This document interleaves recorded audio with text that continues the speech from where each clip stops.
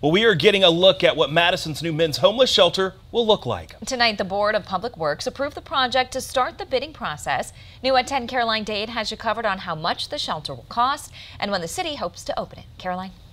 Amber and Brandon Madison is making progress on the permanent homeless shelter that will have room for up to 250 people. Once it's built, it'll be on Bartillon Drive near the intersection of Stoughton Road and East Washington Avenue. Madison's engineering department says it will start advertising for construction bids in the new year, and the goal is to start construction around May. That step in the process will likely last about a year and a half. City staff says the goal is to open the new shelter in late 2025.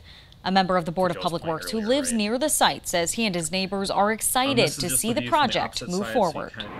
After suffering through the uh, Reindahl Park encampment a couple of years ago, this sort of thing here, we're very, very pleased to see this is uh, rolling along on here with it. It definitely is needed. City, county, and federal. Right now, the city estimates construction will cost more than $22 million. The project manager says the engineering division has already adjusted the budget up some, and he can't say for sure that it won't happen again.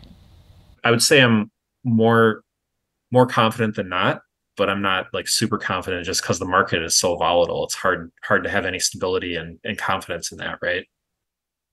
He says the engineering division has been updating the cost estimate as plans evolve, and city staff will update it again next month before the project goes to bid. The shelter plans still need to get final approval from the Urban Design Commission, and the proposal will be in front of City Council in early December. The city says bids for the project will be open from February 1st through March 14th.